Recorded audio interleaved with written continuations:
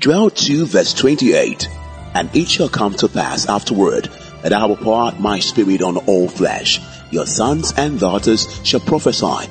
Your old men shall dream dreams. Your young men shall see visions. It is time to spread the undiluted gospel to the dying world. An expository moment wrapped up with the power of the Holy Ghost. This is Pure Gospel Moment with Mark Miracle. Get set for an encounter with the God who changes identity. Power to become the best of you. Every human has their best state and their mediocre state. So you choose what state you are existing upon now. But I want to let you know, and I'm assuring you that there is a best of your version. There's the best of what you think you are now. There's the best of the human nature in you. The, the spirit of God in you. that is the best you can bring it out. That's the essence of today's teaching. Power, therefore, in the Bible has deeper meaning than what we can imagine. It means some inner strength that does not depend on outer things. Power to become the best of you. And I say power means some inner strength that does not depend on outward things. Some inner strength that does not what? Depend on outer things. And as we study this evening, God will bring out that inner strength in you that will bring out the better version of you in the name of Jesus. Who wants to become a better, better version of him or herself? Me too, I want to become a better version of me. He said, the light will shine brighter and brighter unto the what? Perfect day. Which means we keep on working on ourselves until we become better. And I decree someone here will become better by the time we leave here in the name of Jesus. So power to become, becoming means to pass from one state to another. To metamorphosize from a state to another. To enter into some state or condition by a change from another state or condition. So you have to consciously push yourself from a state that you are in to a better state. But you need an effort. That's why I said power to become. The power is residual in you. And until you bring it out, nothing changes. And I see that power coming out of you now this evening in Jesus name. I know, I believe you can change to a better version of you. Do you know why? Because the scripture makes me to understand in the book of Philippians 4 verse 13. And it says, I can do all things through him who gives me strength. I can do all things. So let me paraphrase. I can become a better version of me through him who gives me strength. I am able to do all things. I am able. I am able. Ability comes from the power that is lying potential in you. You can do something. You have the ability.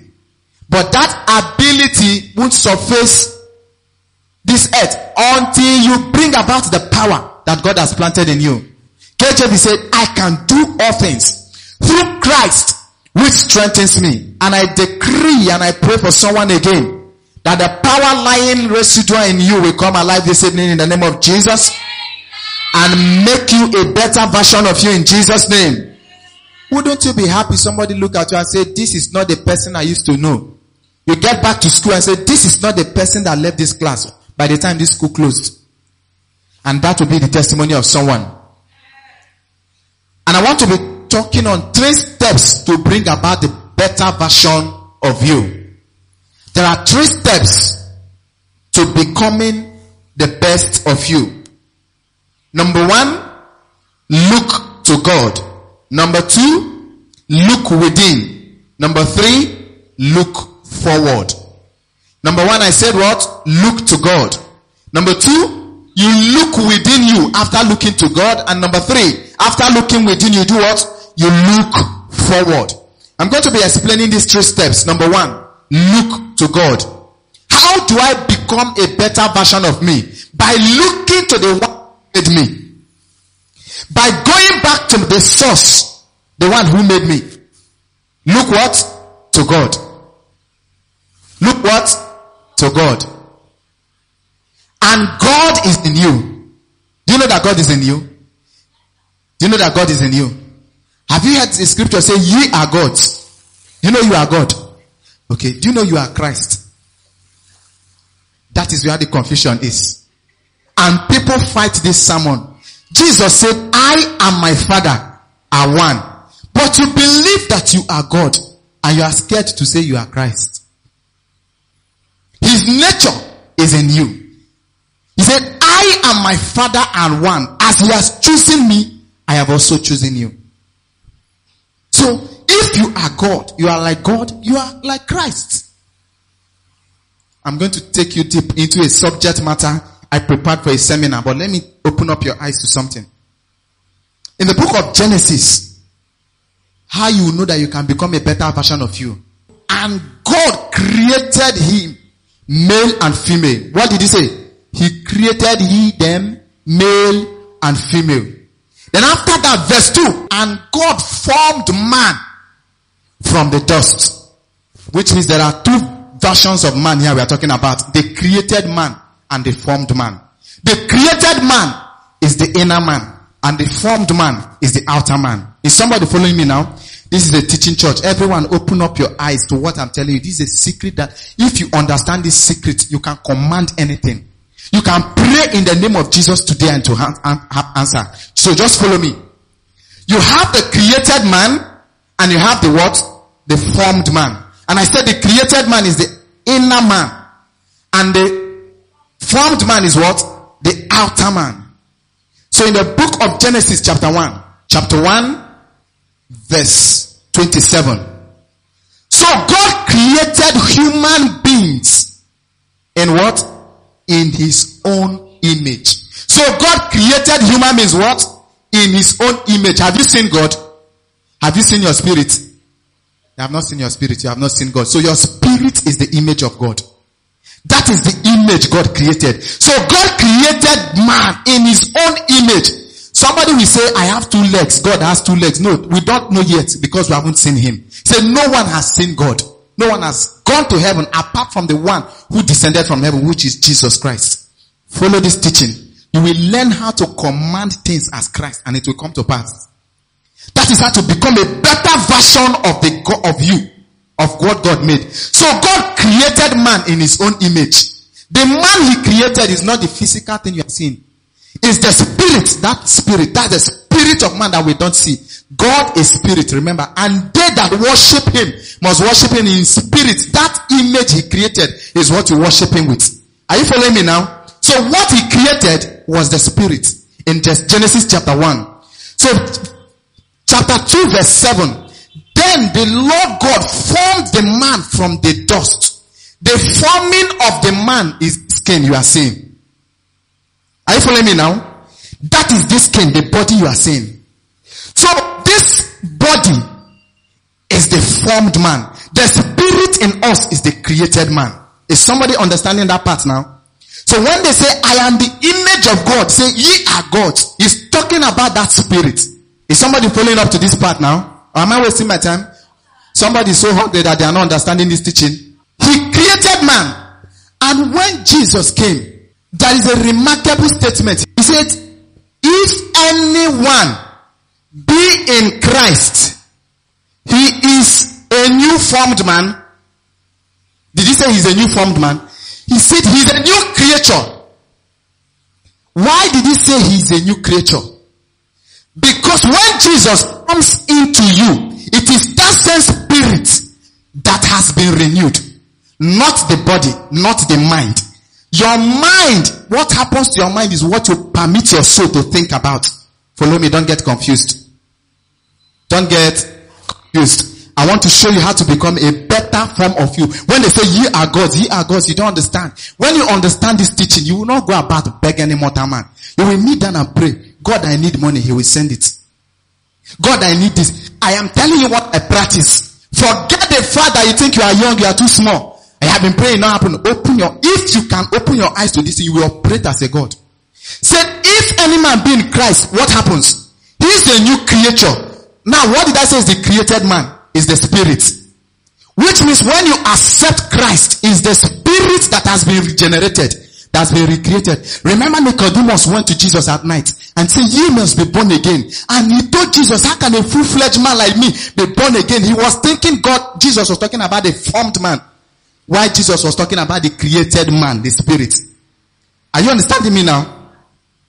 So the formed man can't be born again.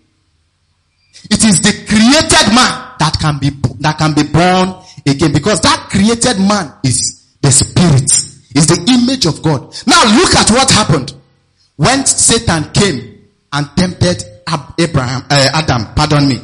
And Adam fell. He said, if you eat of this fruit, you will die. God was speaking to God. He was speaking to spirits. That thing that died was not the formed man. It was the spirit that died. The created man. Are you following me now? The created man died at the Garden of Eden. Adam gave up the spirit of God in him. Adam did what? Died. He died. But people are looking at the physical, the formed man. They don't understand. What kills the formed man is when you want to, when you deny the formed man, the food it needs, the plants, the medicine. Adam did not violate all those things. It was disobedient to the creator and the creator told the created man, you are dead by eating this. The spirit died. And man was living in utter darkness. Sin. But God said, I need to bring this fellowship back. The fellowship God was talking about was not the human. It was not the front one, the spirit. Because they that worship him must do what? Worship him in spirit and in truth. The spirit is the created man that worships God. This is how to become the better form, version of you. If you have this mentality, if you have this mentality, nobody can joke with your spirit life. Nobody can toy with you. Understand this. When you enter the place of prayer, you will beat your chest. I am a God. I have commanded this. And as Christ, it must come to pass. Understand this mystery. If you can understand it, I will be very satisfied. Now listen to me now. In biology, remember the created man and the formed man. Is somebody following me? Remember biology. They will tell you that man has central nervous system, man has spirit, soul and body. In religion, they will tell you man has spirit, soul and body. In biology, integrated science, they will teach you a bit of biology. When you enter biology, they go deep. When you now enter, uh, what do you now call this deep medicine and all this, all this stuff, they will now go deep into it. They say human is in this part, is in this part, is in this part. Now, human being has three parts. The spirit, the soul, and the body. What happens to the body is determined by the soul. Soul is the mind. Will and emotion. Your mind, your will, and emotion. Let me use an example. Imagine one person is here, another person is here, and this person is here. This is the body. Three persons come? Come, God we come. Deborah, come. I want to understand. If only few of you will understand this, you will be ready to fight the battle we want to fight on Sunday. I want to teach you. So when you come on Sunday, you command things. Now, this is, come, shift out. This is the spirit, soul. This is the spirit, soul, and body. This is what we see, the body, the created, the formed man. This is the created man. So for this man to function well, there is somebody in between that interprets to this person. When I touch this person, he feels it's through the souls, the mind, will, and emotion. Are you understanding me now? This body has spirit, soul, and body. Then this soul has will, mind, and emotion. Three, God has Father, Son, and the Holy Spirit. Do you understand me? Follow me now. Now, this body cannot do anything until the soul interprets it. That's what you call mind. Or that is what the biology will say brain. When I touch him, he felt that someone touched him. If he wants to hit me back, it's the soul that will interpret it to him. His mind, will and emotion. The emotion will say, it's too hard. The emotion will be angry, hit back. Do you understand me? Then the spirit will be battling with the emotion. They interpret what God is telling me to do. It's against what the word is telling the body to do. So this soul is battling either to feed this spirit man or either to feed this man. So, in the case of Adam, this soul had to feed this man, feed this man to eat the apple, and this died. God forbid not you. The spirit did what? Died. Because the soul, the emotion was like, devil say, touch this fruit. It's sweet. Eat the fruit. So the emotion was like, let me listen and eat. It obeyed him. It obeyed the body. So the spirit died. Just go back now.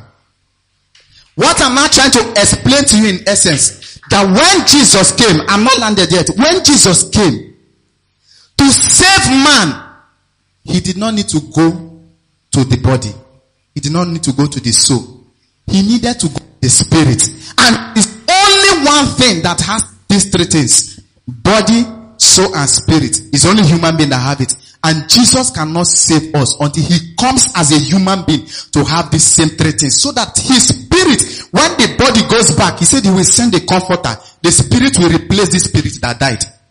Is somebody following me now? Follow this teaching. Jesus needed to come back to save this man. Because what the spirit did, what the soul interpreted to the body, made God to remove the spirit from man. And man was moving as soul and body. Even though they say we had spirit, the spirit then is, has is utter doom. Because it sinned. So Jesus needed to come to save man. But he can't save the formed man until he has saved the created man. That is why I say, if you are in Christ, you are a new creature, not a new formed man. He's talking about the creation, the created man, the Genesis chapter 1.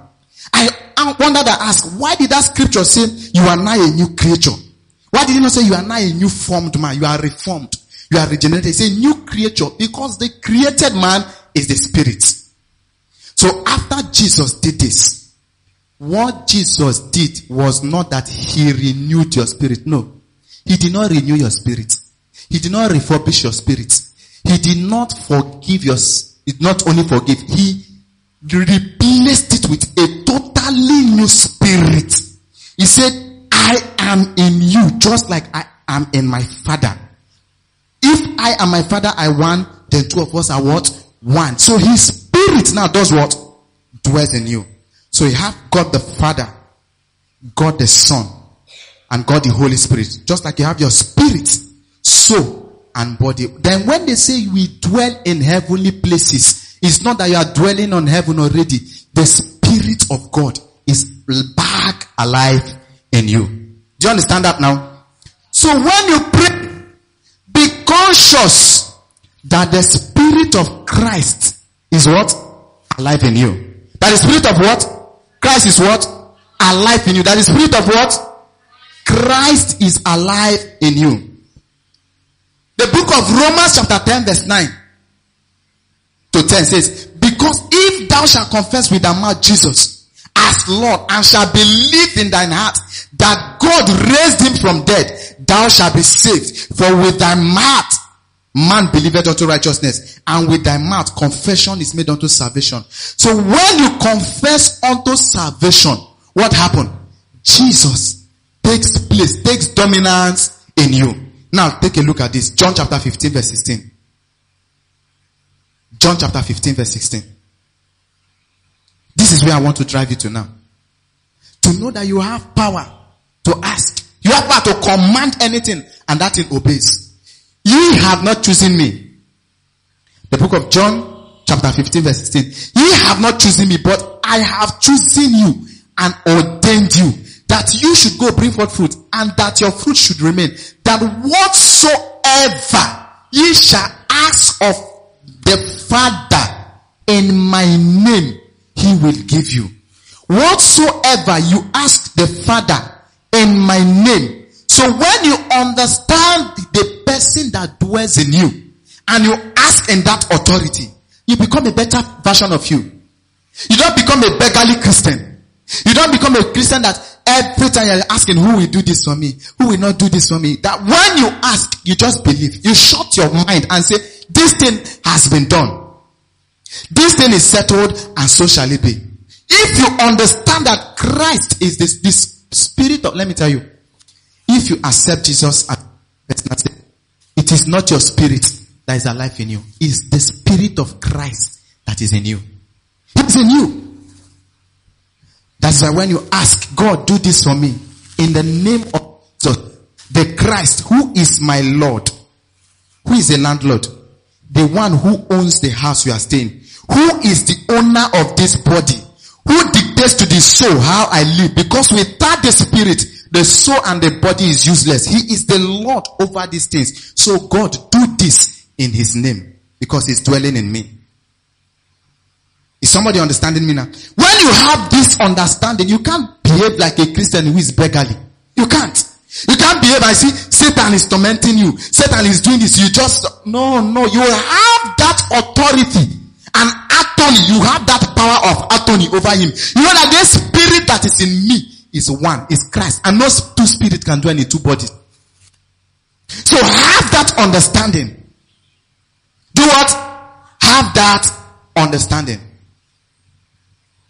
Ephesians chapter 6 verse 17 says, and take the helmet of salvation and the sword of the spirit, which is the word of God. Take the helmet of salvation and the sword of the spirit, which is what? Take the helmet of salvation. You are saved now. Jesus is in you. I say, take the sword of the spirit. The battle we fight is not of the flesh, it's not of carnal battles. This is what? Of the spirit. And the sword of the spirit is what? The word of God. And I told you here one day, the body feeds on fruit, feeds on food for it to survive. The soul feeds on what is watch, what it sees, what it thinks of. That's what the soul thinks of, uh, survives on. Then the spirit feeds on the word of God. Many of us, we are starving the spirit man in us. If you understand this teaching, you will not joke with Bible. Because you know that there is one in you who is you we are starving. The spirit of Christ in you. So when you understand that the spirit in you is not just your human spirit, you feed that spirit the food it needs. So that when battles of life come, that is not your spirit that is fighting. He said, Jesus, I've been feeding the spirit of Christ in me. Oh yeah, go and face this. How does he face the battle? How does he answer when of Jesus when you don't feed it the word of God? You don't become a better version of you when you don't look up to God. So the maker of man is what? God. He created you. What to do is do what? Look back to him. Did somebody understand anything in that teaching? Look what? To God. Psalm 37, 4 to 5 says, Take delight in the Lord and he will give you the desire of your heart. Commit your ways to the Lord. Commit your ways to the Lord. I pray the Holy Spirit opens your eyes to show you that the spirit in you is not just your human spirit, but the spirit of Christ. When you see that it is the spirit of Christ in you, then you will have to commit your ways to the Lord. Don't ever take a step of destiny without inquiring from God. Because now His Spirit dwells in you. Thinking you can achieve greatness without God is only fooling yourself. Never ever believe that you can become anything in life, career and business through the help of humans. How can human being help you? They can't. God can pass through human and help you, but you can't go through human to get help from God. God can pass through humans to help you, but you can't go through humans to get help from God. Number two, I said look within. After looking to God, what next do you do? Look within. The ones you are looking up to for help are also looking up to someone else for help. So it's better you look within you. Philippians 4:13 says, I can do all things through him who gives me strength. Who gives you strength? The spirit of Christ in you. The spirit of Jesus Christ in me gives me strength. I can do all things. Jesus, when he was on earth, said, greater things you will do. He knew that his spirit will be with us when he. He said, I will send you a comforter. The comforter he's talking about was the Holy Spirit. And that spirit and Christ are one. So look within you because you can do what you are looking at others doing. That thing you are saying this man is doing, you can do it. I'm telling you, you can do it. You can do it. Somebody say I can do it. Say I can do it. Don't ever get to a point where you look down on yourself. Say this one achieves this. This one did this one. How about me? Don't look down on yourself. You are looking down. Some of us, the spirit of God in us, this is how we do him. We chain his hands, chain his leg and just keep him hidden inside us. Because of how we are thinking. But when you behave like you know who is in you, you step. When you take both step, the one in you will come alive to defend that step. So look within you. The greatest men in the world are those who discover the powers within them and utilized it. What did I say? The greatest men in the world are those who discovered the powers within them and did what? Utilized the power. Great woman, you can do greater things than you have done already. Young man, young woman, those listening to this message online and offline, you can do more than you have done already. Because there is a power untapped in you. And until you go within you to fetch from the Spirit of God in you, said I can do all things. Take the whole of you to search within, search within. God did not just create you and throw you down here. He carefully formed you and gave you a solution to the problems of life. Rather than crying about the problems around you, thank God for them and start utilizing the gift of the Spirit in you to find solution to them. Rather than crying about one problem or the other, crying about this, anything around you, whether sickness, whether lack, whether poverty, anything that happens to you happen for you to bring out a better version of you. Am I speaking to somebody now? Anything happens to you happens so that you can bring out the better version of you. Poverty came so that you can think and think yourself out of poverty. Sickness came so that you can bring out the power of God within you. And whatsoever you command on earth, what you bind on earth is bound in heaven.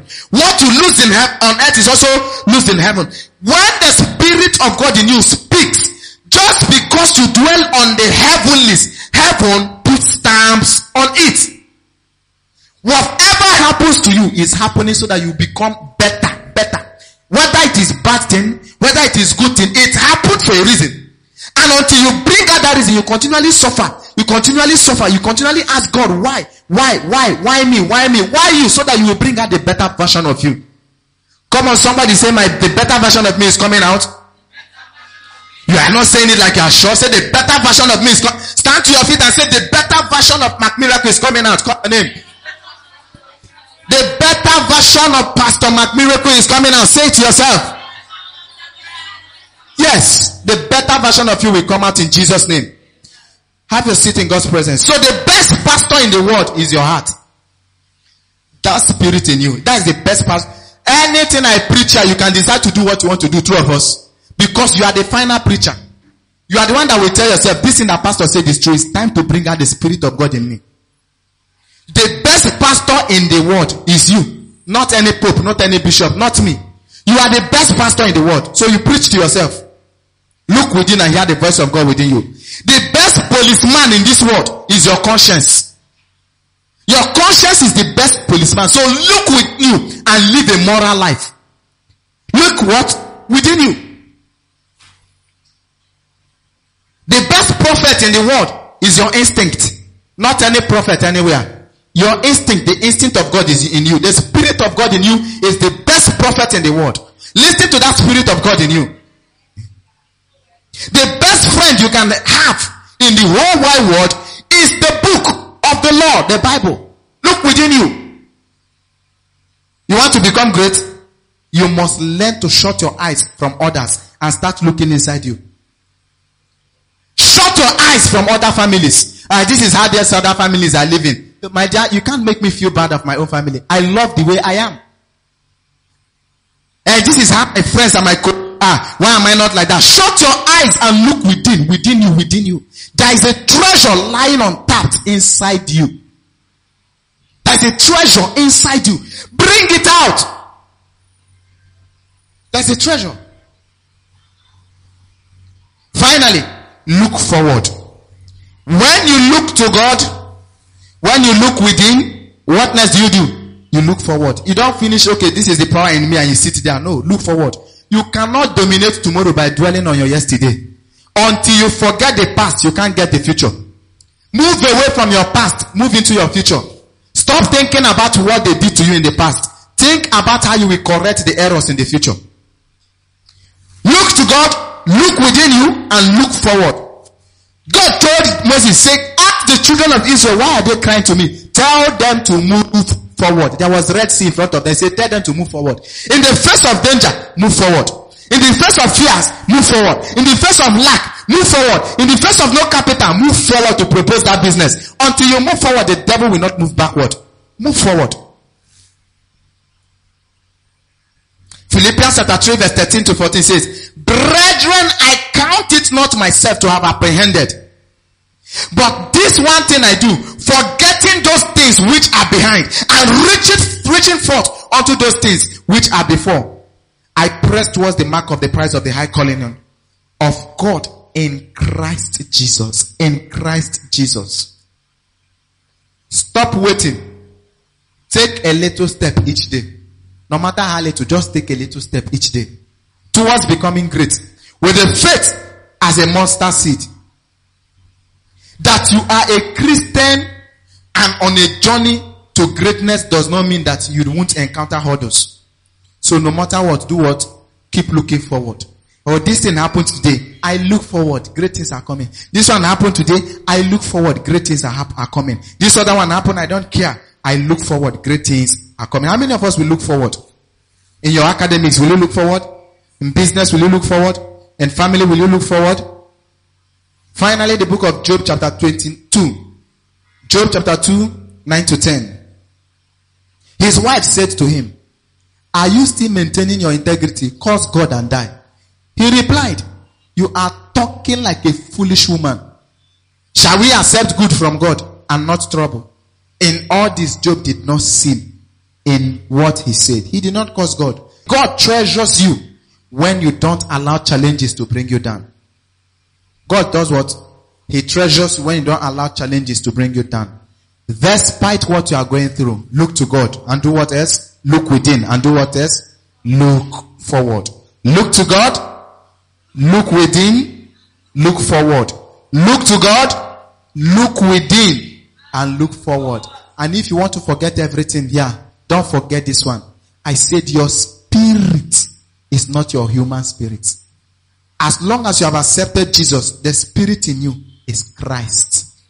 What happened is that the spirit of man died at the Garden of Eden. God caused that spirit. It died. So when you accepted Jesus, there was a changing, a regeneration.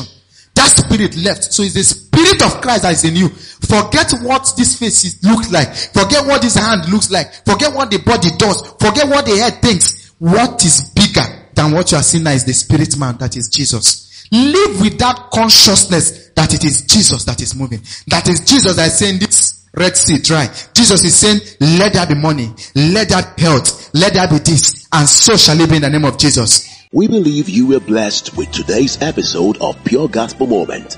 For prayers, testimonies, or further inquiries, you can reach Mark Miracle on plus 234 812 328 8593. That is plus 234 812 328 8593. God bless you real good.